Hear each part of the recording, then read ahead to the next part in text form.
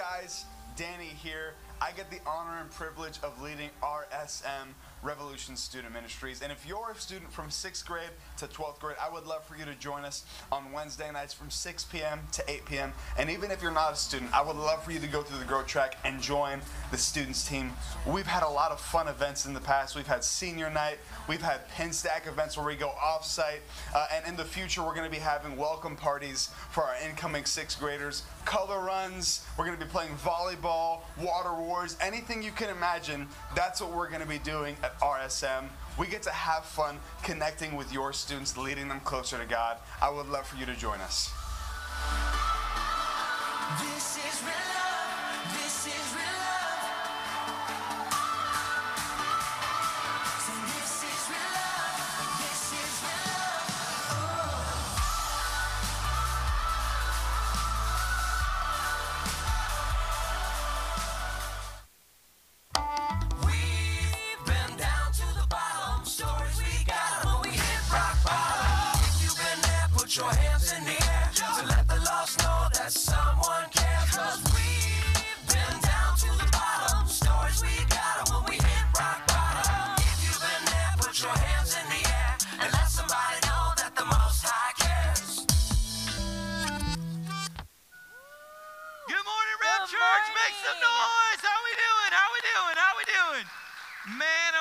You picked a great Sunday to come to church. We are in this message series called Stories, and we've been interviewing all of our staff members so you could really get to know them. How did they find It's Jesus? been awesome. How did they come to church? How did they come to Revolution Church? What made them a staff member? How did they sense that call to ministry?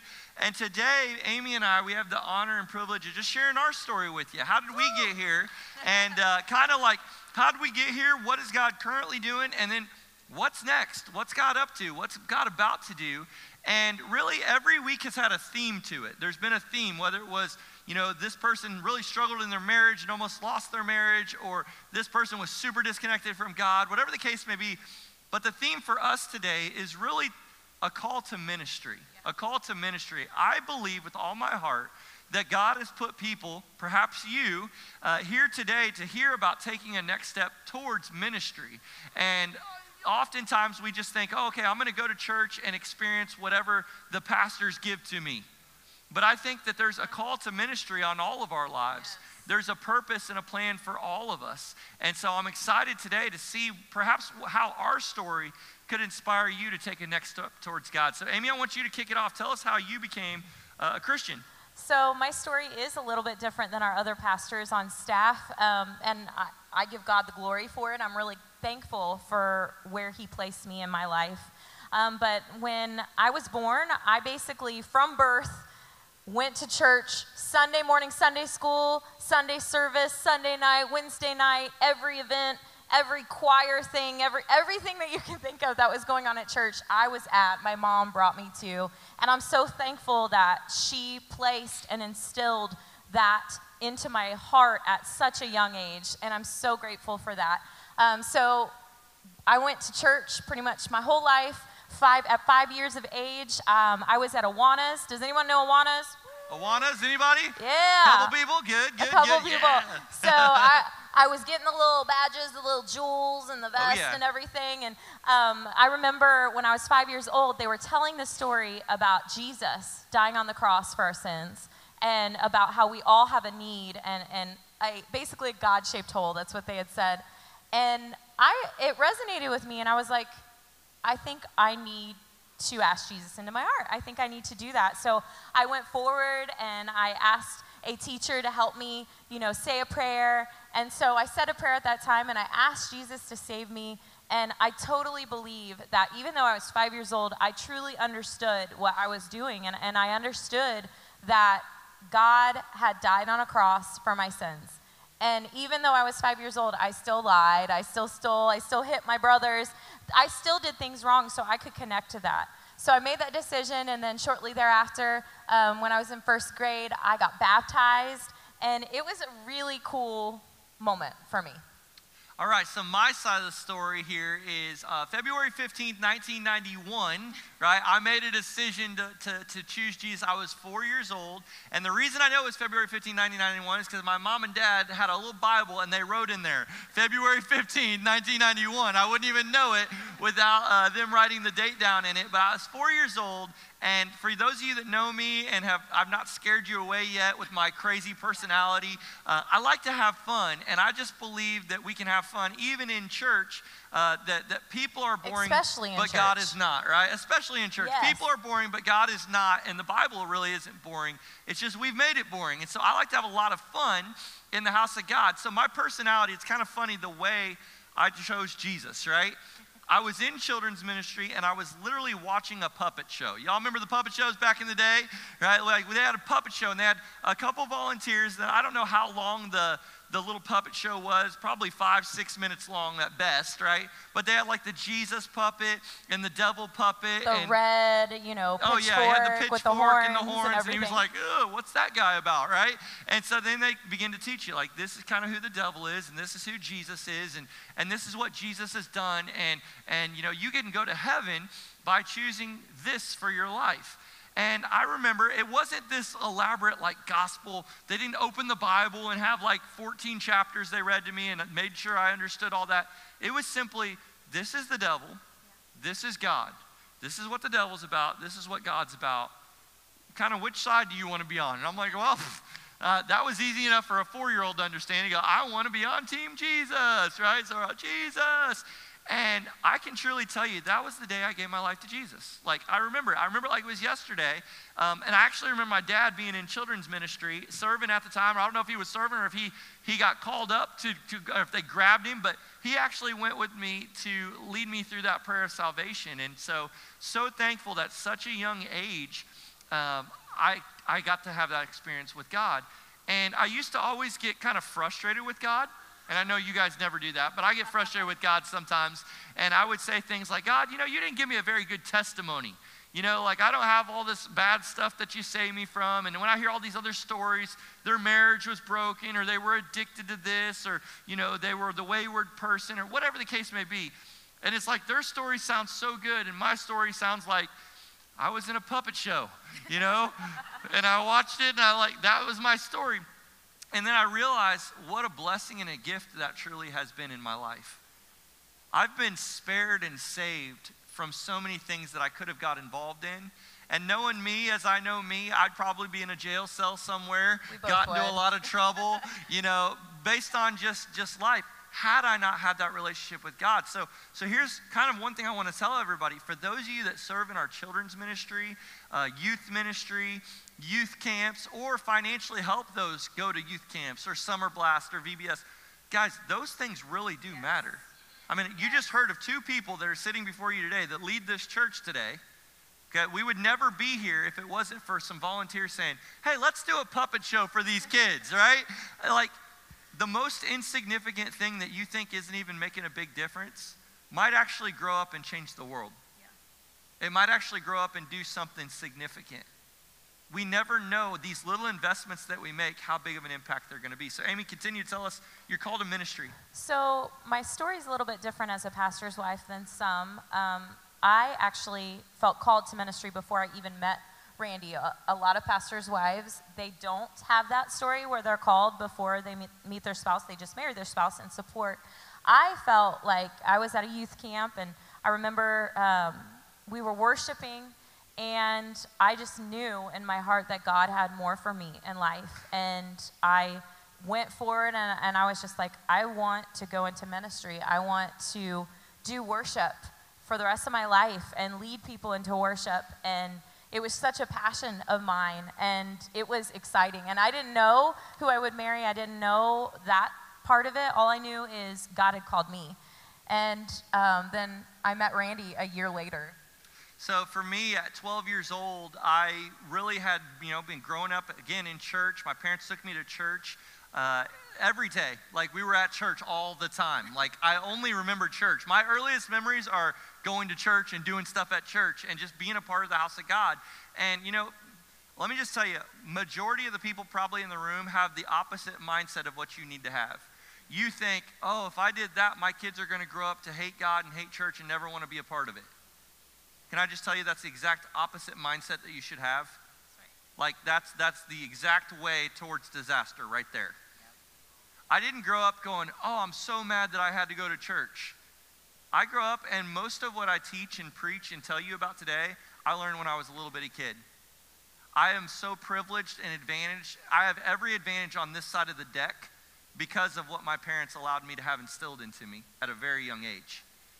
So, every single one of you who are like, man, sometimes it's hard to get my kids to come, you need to keep bringing them. Don't stop. You need to keep them plugged into these children's ministries, in these youth ministries, in these programs, because this is what's going to help them later on. We're making investments right now that are going to play out years and years and years from now.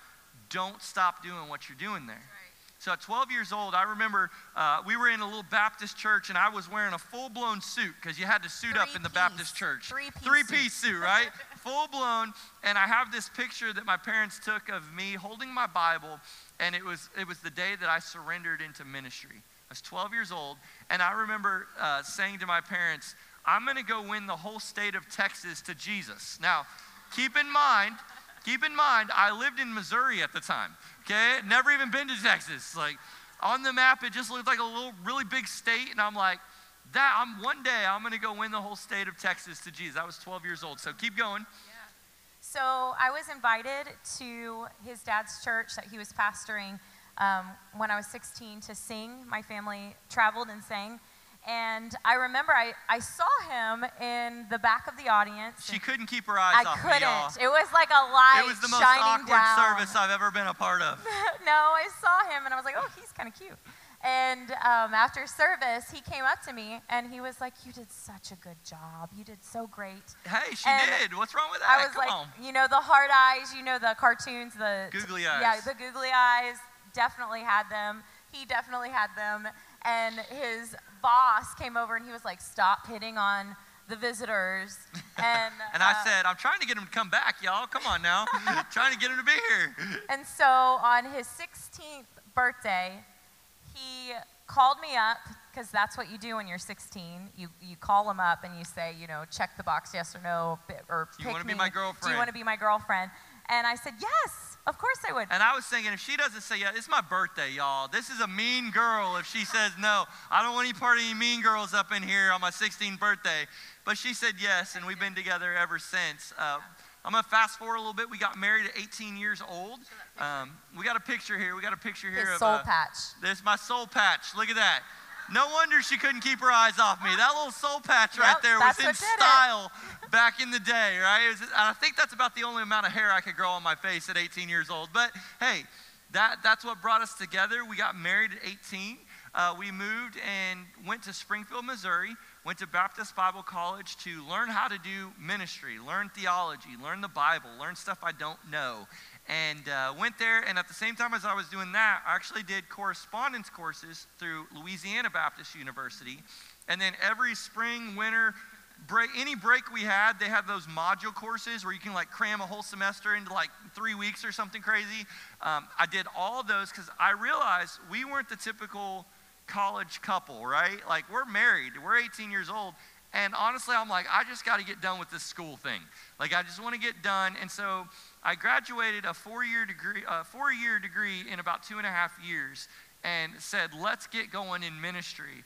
And that's whenever we moved to our church in Ohio uh, to serve as the children's pastor at that church. So Amy brought the awesome worship and energy in our children's ministry and, and god really blessed that ministry we literally saw like from 30 kids to 40 kids to 50 kids to 60 kids to 100 kids 200 kids 300 kids i think we have a picture up here uh, where we had a camp um, let's see if we can get that one pulled up we had 266 kids at this camp and i mean they were just climbing off the walls right to get in this picture and god just kept blessing this ministry and and then along the way god really kind of was doing something in my heart like, okay, there's got to be some more. There's got to be some more. And that's whenever we had some conversation with our staff and our pastors. And uh, they said, why don't you do young adult ministry? We had some shifting. They said, we have this young adult ministry we'd like to build up. And so I remember we, we uh, the very first week that we're in there, we're like, okay, we'll jump into young adults. Now we did, we were still doing kids, but we're like, I don't know, 23, 22 years old, and this group was like 18 to 30. And I get the phone list out of the directory of the church. And I start calling anybody that I think looks like that, because I don't have their ages. It's like, you look like you're between 18 and 30, right? So I'm calling these people.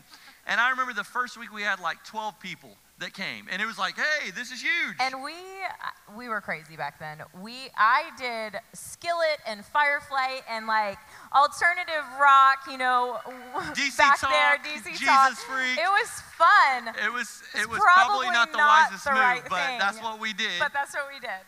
we did that and i remember thinking okay god you got us kind of on this pathway for young adults and uh, i want to tell you that that following week after we had 12 that i successfully grew it to this amazing number but we had to 100 or something but we successfully grew that thing down to eight the following week. And so we said what in the world happened? Where'd the four people go? They didn't come back. Never saw them again right? And i was like god okay teach us what we don't know. Help us learn how to do ministry and help people. Long story short, God began to bless that ministry. Uh, we saw about 150 young adults uh, eventually get into that department, and life was going really good. Got to be honest with you. Um, I don't know about you, but I like being comfortable. How many of y'all like being comfortable? Put your hands up. Now, now keep your hand up for a second and look around. Y'all are not the people who like being comfortable. People like being comfortable are the ones that have their hands like this that didn't raise their hand. They're the real like being comfortable. Be like, I ain't even raising my. I'm comfortable right now, right? I like being comfortable. I like being comfortable. And I remember thinking, okay, if I just kind of ride this out here, the church, the people love us. Like we love the people. Well, I'll probably be the pastor of this church if I just kind of ride it out. We got a little house that we were very happy to have. We had a vehicle. We, We had lived two by kids. family. Yeah, we were by our family. Life was pretty good. And so we were sitting there going, this is great. But then something started happening in my heart. And, and Amy has that, that, that wife sense, which we all, men, if you're in the room, you know your wife's got this like little spidey sense thing where she can sense what's going on whenever you're not happy or something's wrong. And she looks at you and she goes, What's wrong? And you're like, Nothing, right? And she's like, No, something's wrong. And then she has to dig it out of you and you don't want to talk about it.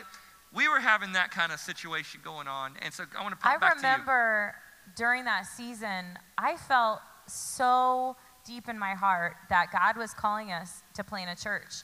And we were not really familiar with the whole concept of planting churches. It was just literally something that Jesus put into my head. And I was like, this is what we're supposed to do. I was 100% convinced, faith ready to go. And I know that God had to do it that way because I, I was so close to my family and they were there that He had to work on my heart first before He worked on His heart.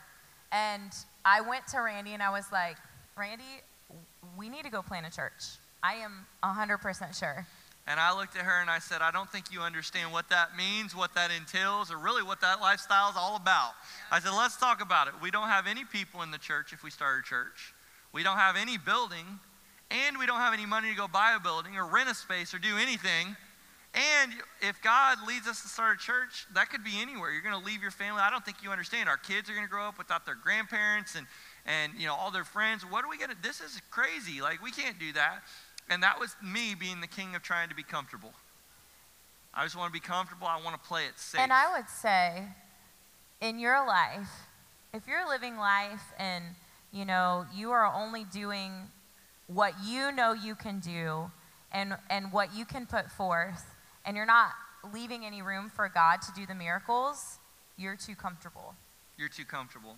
God has something more for you, and when you leave your thoughts and your opinions and everything, if you lay it down and you're just like, God, this is huge what you have for me. He's, he's calling you to do something, and you're like, man, I can't do that. It's out of my comfort zone. That's, that's what you need to And do. let me just say, like, your safety net is what's comfortable to you. Like, I want to stay in my safety net. And God is awesome at calling us away from our safety net. Because ultimately, listen to this He is our safety net. Ultimately, He is our safety net. And I can tell you on this side of the story, I would never trade what I've got on this side of saying yes to Jesus to go back to where I was way back here. It doesn't make any sense. But back there in that moment of time, I'm going, I want to be comfortable. I want to be safe. I want to stay by the safety net. And yet God said, I got more for you. So fast forward, we end up moving to Texas. I got a picture here of the first house that we bought. This is our living room uh, where we first did Revolution Church. Because again, we don't have any people, we don't have a building, and we ain't got no money, bro. So I got these chairs. You can see there's a mismatch of chairs, right? Metal chairs, white chairs, pa- stools, padded chairs. Like, this is what we had. This is all we had. And we said, God, I remember, I remember having a conversation with him on 380. Just moved here, moved 17 hours away from everything that I'm comfortable with. And I'm on 380 in traffic going, God, I just moved here and nobody even knows why we're here. Like, God, if you don't show up, this isn't going to work.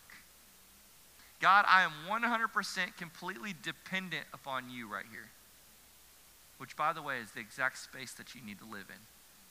If you're too comfortable, it's time to take a step towards Jesus. Because I'm telling you, the thing that he has to offer you is so much better than what you think you're giving up. He has something so much better to offer you. So, I remember when we moved down here, um, every single day we would go to the Lowe's right by our house. Every single day. Not because we had all this money to renovate our house or anything. We didn't buy a thing. We would go there and we would look around, kind of like lost, until someone started a conversation with us or we started a conversation with them. And that's literally how we invited people to be a part of our Bible study that we were doing at the time. we and went to the same Wendy's every time at the same Chase time. Bank, every so we can see the same person, the same bank teller. People would be like, "This line's open." I'm like, oh, "It's okay. I Nope. want this one." Like, you go in front of me. I got to talk to this person, and so that's how we started building the church right there. And I remember we got this this house, and the only two reasons why we're in that house is number one, uh, we couldn't cheap. we couldn't afford any other house in the whole place. That was the only house we could afford. And number two, it did have a big living room space, and we were like, we can we can start a launch group with that. And so then eventually God kept adding to our numbers, adding to our team that, that believed that, hey, there's a vision to start a church. And so we have another picture of us in the daycare center off El Dorado.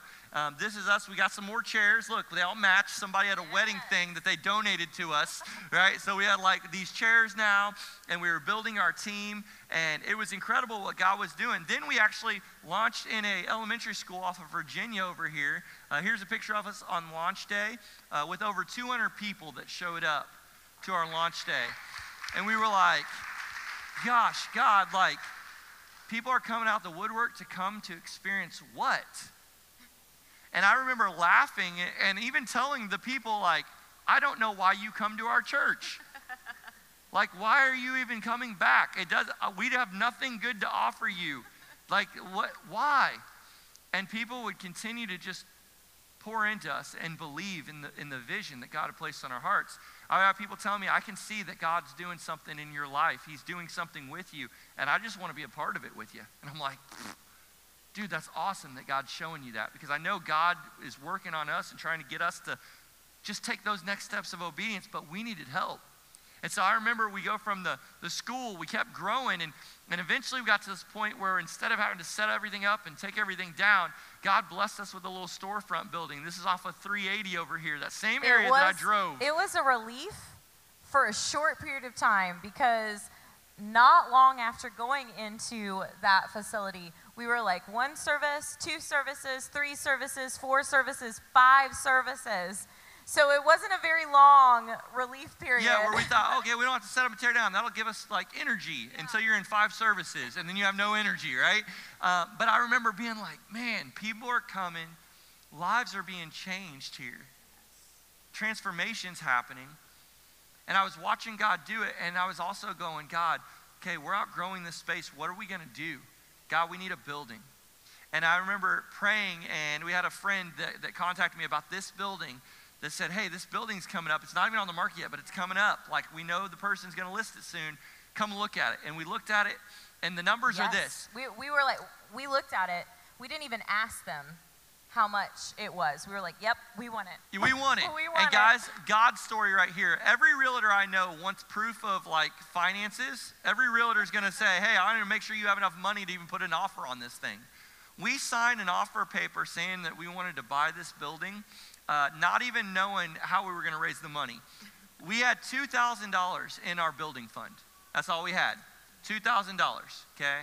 $2,000, and we found out that the down payment would be 25% right? It was $822,000 to buy this building. That was the down payment. And I remember leaving there so discouraged and thinking, how are we going to come up with 820,000 more dollars than what we have right now? And I began to have a conversation with God like, God, I know that that space should be our property. I know that's what you want. The church before us that met here actually died. The things in this building were all dead. And I remember walking this property. We walked around this building every day every day and we prayed and we said, God, give us this building. God, this is a church. God, revive this place. God, resurrect this place. God, we're going to see renewal happen in this place. A revolution needs to take place in this place. God, there's people in this community that still haven't heard and we're tucked away in this little place. God, give us a bigger space. And I remember praying, and guys, I can only tell you the miracle that happened. In 72 days, we raised everything that we needed to buy this property in 72 days. And it wasn't because we had all these millionaires that were attending our church or no, it was each and every person in Revolution Church sacrificially giving and Everybody saying, God, played a part. I trust you and I believe in this vision that you have for Revolution Church. And I, I, realized in that moment that this church wasn't about Amy and I. Yes, we were just the first person that said yes. That's all it is. Person one, person two. We both just said yes. God's still writing his story.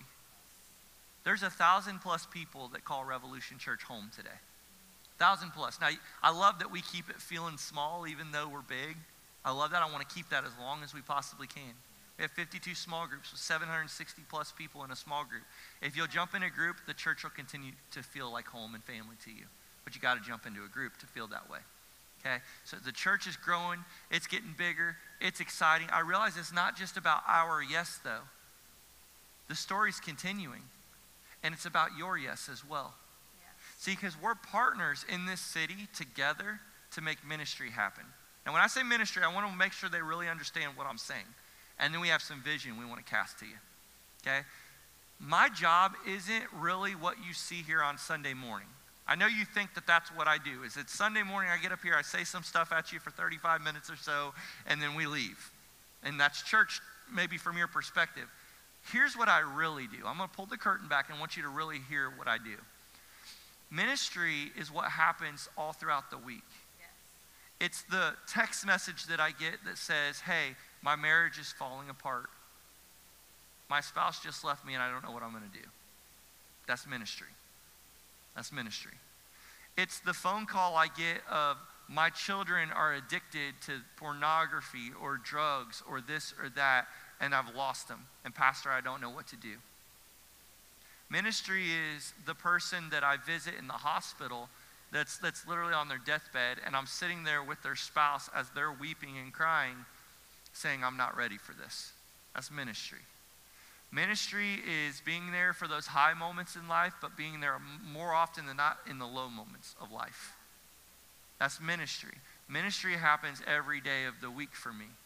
I'm constantly hearing of the financial stresses that people have and not knowing how they're going to have their next meal or not knowing how they're going to have a roof over their head the next day or their electricity or water got turned off.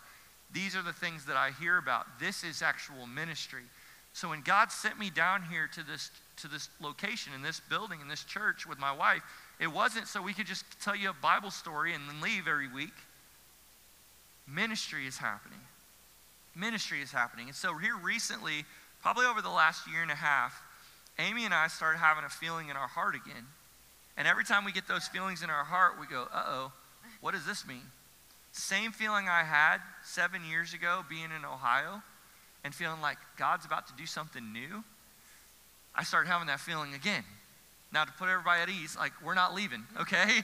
We're not leaving. Everybody's like, oh, he's about to say he's going to, you know, Minnesota. I would never go to Minnesota. If there's anybody from Minnesota don't in here, just tell me about Minnesota. I don't want to go there, all right? You can tell me all about it. I just don't want to go there. This is my place. Yes. This is my city. This is my people. This is what God's got this going. This is our state. This is our state. And we're here to take over the state of Texas. Okay? so let me shoot some vision to you.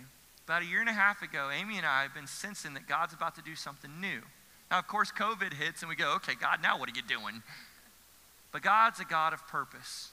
God's a God of miracles. And here's our next step.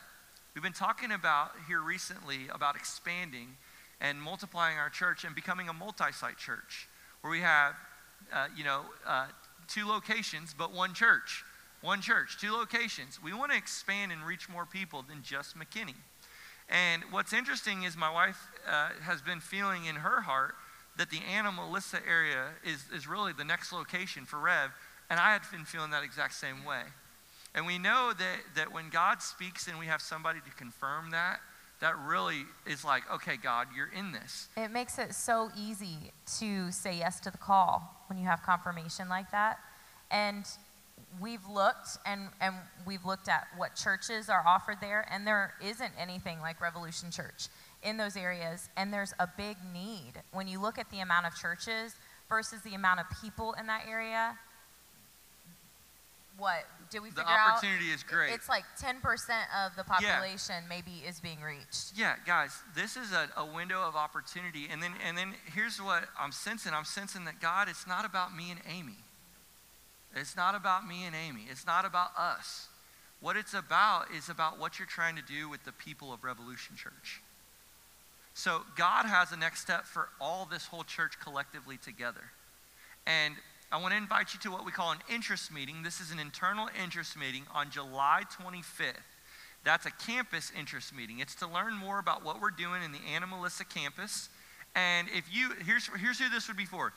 Anybody that lives in Anna or Melissa, that that would be a great proximity location for you to attend that campus. We would love for you to be a part of this meeting. Now, this meeting's going to happen immediately after this third service. Um, it'll on July 25th. We'll go over to the gym building. We're going to provide lunch for everybody, and we just want to tell you a little bit more about what God's placed on our heart and what this would look like. So we're going to want information from you, though. So if you come from this uh, to this meeting, we're going to know like what area of ministry do you think that you could serve in and volunteer in to help that whole thing function over there. Because again, this isn't about me and Amy getting involved in ministry. This is about us going into uh, the, the area of ministry where there's a need and collectively making a difference. Because here's what I've learned from, from experience we're so much better together than we are separated. When we work together, we can do incredible things. The truth is, we're in a spiritual war, spiritual battle. And if we're by ourselves, and even if we have our, our armor on, you know, the armor of God, we still have our back exposed to the enemy. And when we have another person that is doing this spiritual battle with us, you can go back to back, just Mm-hmm. like this, and we no longer have a part of our body that's exposed to the We enemy. can cover each other. We can cover each other. We have each other's backs. We can be there for each other. Here's the deal, guys. As we get ready to go and, and do this, there's some of you that you go, I live all the way in Dallas and I drive to McKinney come to church. There's somebody here that you're going, I feel led to go help at the campus, right? If that's you, I want you to come to the interest meeting. There's some people that you're sitting here and you're going, bro, I'm not leaving this campus. This is my favorite place in the world. Like, this is where I'm going to be. Can I just tell you, that's completely okay. Like, if God's not leading you to that step, that's 100% fine. Don't go take a step God's not leading you to. There's somebody sitting here today, there's probably lots of somebody sitting here today that you go, you know, I'm not going to go to that campus, but I can absolutely financially contribute to help you get that whole thing going. And what we're going to do over the next few months, uh, we know that this campus isn't going to launch until 2022. Okay, so we've probably got a minimum a year to plan out what we're going to do. Probably going to, we've talked about Easter 2022, maybe the fall of 2022. We don't know yet. We're still praying on it and seeking the Lord's direction and wisdom. But here's what I'm asking the church today I'm asking you to pray with us, to join us in this effort. Start getting a heart for this community. For some of you that live in that area, I want you to saturate your community with prayer. Begin to believe God for bigger things than what's currently there. Because I believe with all my heart, listen to me, church, we're all giving our lives to something. And my question to you is are you giving your life to something that actually matters? A hundred years from now, when we all die, will we have built something that leaves a legacy for our children that actually matters? Are we going to pour into our kids in a way that the students that are here today are the pastors of tomorrow, are the small group leaders of tomorrow, are the people running those puppet shows in those children's ministries tomorrow? What are we going to do that's going to make a difference? Are you building your kingdom or are you building God's kingdom? And I'm asking you to partner with Revolution Church in every way. We need people to give of their time, their talents, and of their treasure to build a legacy that matters. Guys, there's nothing that I would, listen, I've got some skills, bro. I've got some skills. Listen to me, I'm gonna be super real with you. I've got some skills. I, there's a lot of things that I could go do with my life that could net me a lot more money than what I get by being the pastor of Revolution Church. There's so many things I could go do that I, I'd probably be even better at than even being a pastor. I could make a lot of money doing. But there's nowhere else I'd rather go, and there's nothing else I'd rather be doing than actually ministering to the person who's addicted. I've watched more grown men cry over the past seven years than I can count on. I can't even tell you. Countless. Because God begins to get a hold of a person's heart and it begins to transform. Life change begins to happen. Chains really do get broken. Marriages really do get restored. And we know that it's not because of us. We're not the Savior. We don't want to be. It's too big of a weight for us to be the Savior. Here's what we know if we can introduce them to the Savior, Jesus Christ, He's the hope of the world, church. He's the hope of the world. And I'll say this, let's as we slow things down right now.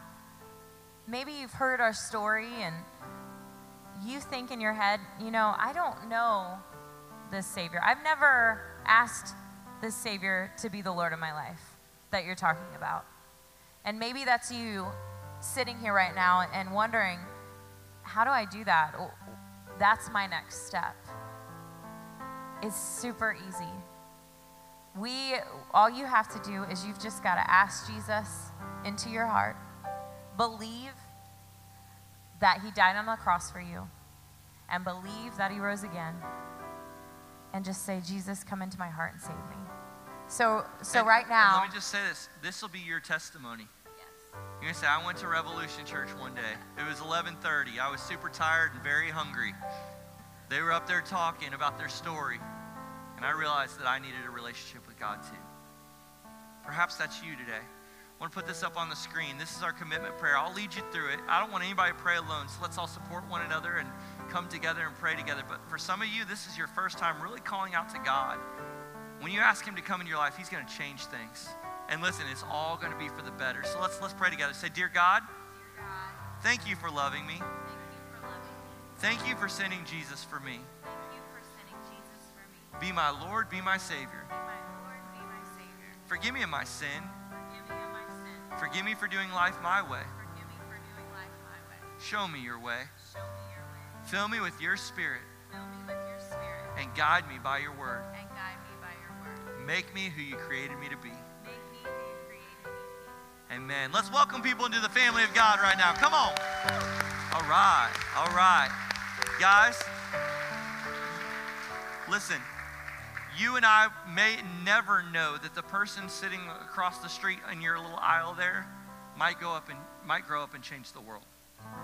Couple years from now, they may be on the mission field somewhere. A couple years from now, they may be in Bible college.